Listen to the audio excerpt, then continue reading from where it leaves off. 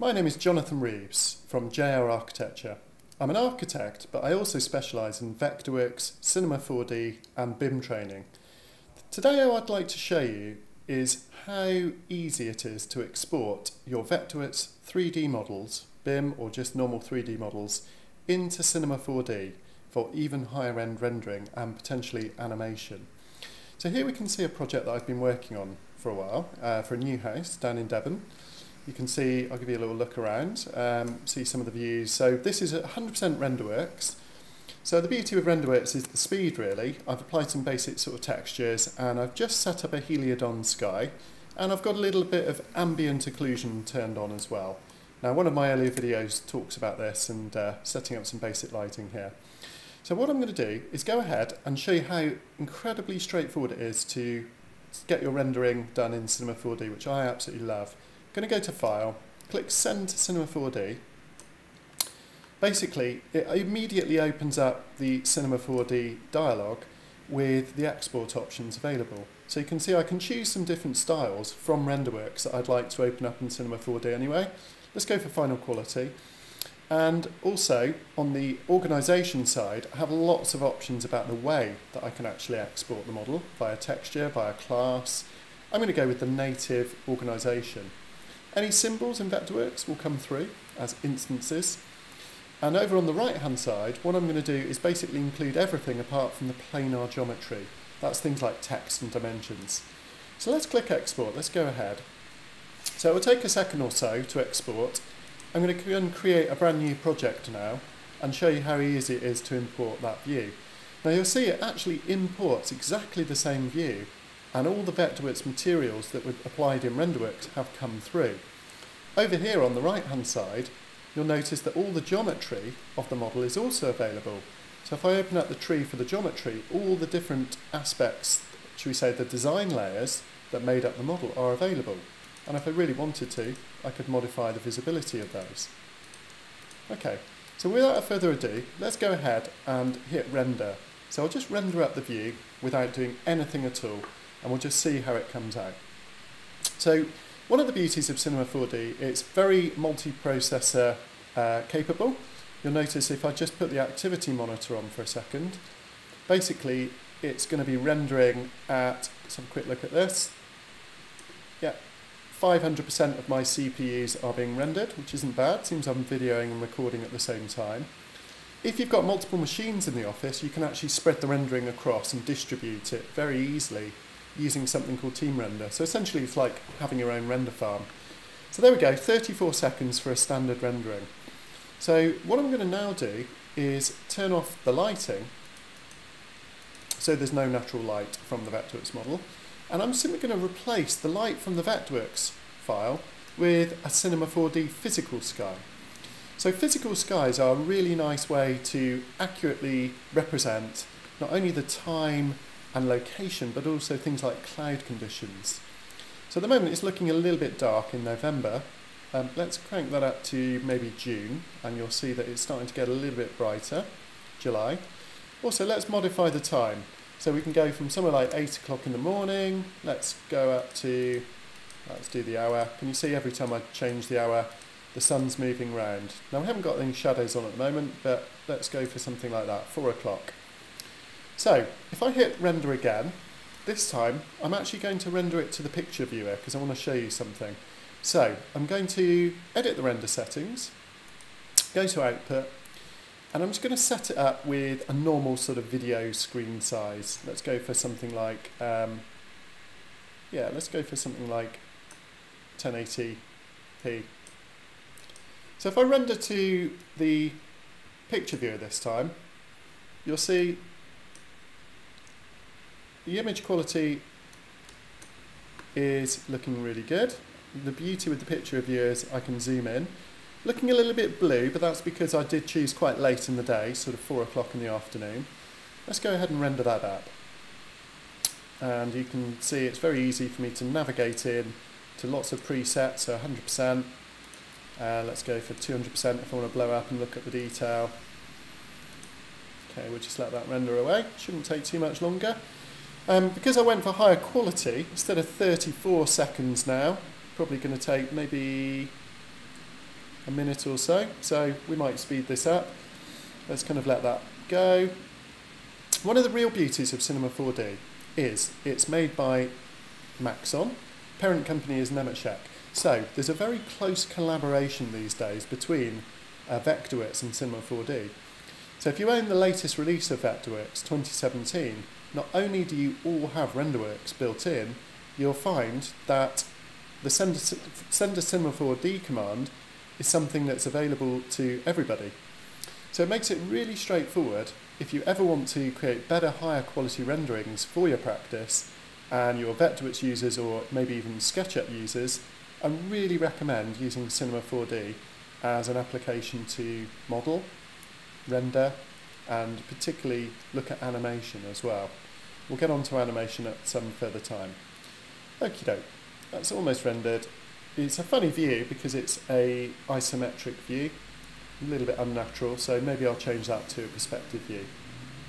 But quality of it is looking nice, particularly these very soft shadows, there's some nice reflections going on, and bearing in mind I haven't really changed the glass or enhanced the materials in any way, um, you know, I've spent a couple of moments, I'm pretty happy.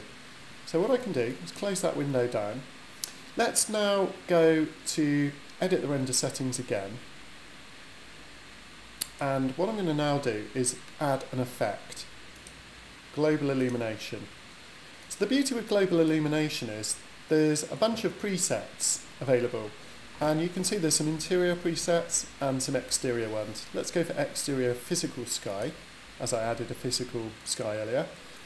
I think also, let's just hit render and we'll see what difference this starts to make. So you see now the rendering is essentially rendering in a totally different way using global illumination pre-pass. So the first step is it'll render a couple of pre-passes before it actually starts to calculate the texturing, lighting of the actual model itself. So we'll just let that wear away. We might speed this up on the final video. Now the be real beauty is, if we wanted to, we could go back to Vectorworks, carry on working on our model, and really we haven't really got too much of a slowdown. So we can carry on modelling without our computer grinding to a halt. So I can carry on developing the model, make some changes, and if I really wanted to, then when I do send to Cinema 4D again, we get the ability to simply, I'll click export, I won't actually do the update, but basically if I change the geometry around and modified the roof or put some new uh, landscaping elements in, you'll notice that when it opens up in Cinema 4D again, it will basically either allow me to start a brand new file or create a new project file, sorry, or update the existing file. Now that's the key. So that means there's a very good connection between Vectorworks and Cinema 4D. It means that essentially you can apply all your materials, your lighting, your texturing if you prefer in Cinema. So when you do the update, it won't replace the materials, it will just bring the new geometry through. Or let's say you've replaced the lighting, as I have, you wouldn't want to bring the lights through, and potentially maybe not the cameras as well. So for me, the two programs kind of work almost like one suite of applications. Let's click OK. We just maximise that screen. Okay, so we're nearly done on the rendering. And the reason I'm keen to do this is because one of the lovely features about rendering to the picture viewer is that we can basically go through before and after images. So here's our first one, here's our second one which isn't yet finished, but we can start to sort of compare the two. And one particularly nice feature that I like is the ability to set one image as image A, set one as image B, and now you'll see we get this lovely bar which we can slide up and down and we can have a look at the comparison. So you can see with global illumination activated, um, a lot of the blueness has gone. That area where it was in complete shadow has disappeared. It's still in shadow, but we've got a lot more light bouncing around because of the global illumination effect, which we've basically enhanced. Sorry about the emails popping in there. Off we go. So it's a very nice feature, not only this ability to kind of have a look at the two different options here, even while it's still rendering, it does allow us quickly to not only store lots of images, but compare them as well. Okay, so we'll turn off that for now. If we enhance it, you'll see we can turn it back on again. Quite nice as well. Got a few different ways you can look at it. Let's just go for that horizontal one. So we can really see the difference here, particularly in these areas of corner shadow. The ambient occlusion, so without GI, with global illumination, a lot nicer colours, better reflections, and a lot more subtle the shadows. Okay, let's turn off the comparison. So we'll go back onto the temp and we'll just let that finish up. Again, it's taking a little bit longer now. We're coming on to a few minutes for the render, but then we've got higher resolution, and much, much better quality. In the meantime, we could easily go back to Vectorworks, carry on doing a bit more modelling. Haven't really got any slowdown, which is nice. You can see everything is acting more or less as quick as it was before. Maybe a tiny bit of delay just because the graphics on Cinema 4D are doing their thing. Good, okay, so for those of you who currently use RenderWorks, absolutely fantastic. Use it as much as you can. When you need the absolute killer visual, it's a real doddle to go to Cinema 4D. The two programs work hand in hand. Personally, I use SketchUp a little bit occasionally as well. Um, I know lots of other practices out there do. Cinema 4D can also import native SketchUp files. So that's another bonus, really. And basically, there's just so many features in Cinema 4D that allow you to kind of do very high-end uh, rendering, the modelling, and for me, the animation. Okay, one of the other beauties of Cinema 4D is the ability to very easily animate all the objects that have come through from Vectorworks. So I'm just going to do a really basic animation to show you how simple this would be. So what we're going to do is we're going to click on the roof and you can see the arrows have come up. So this would enable me to move this up and down. But if I want to record the position of the objects, all I need to do is record the record active objects keyframe button so you can see the timeline's gone blue now. So what we'll do is we'll slide that across to 90 frames. And if we just start to lift the roof to the position we would like it ultimately to be, and we click record keyframe, there we go. So let's rewind and let's just play through that little animation. So it's really easy to animate the roof flying off. Okay, so let's just take this a little bit further. We'll slide that back to the beginning. We'll select the first floor and right back on the zero keyframe, I'll click record.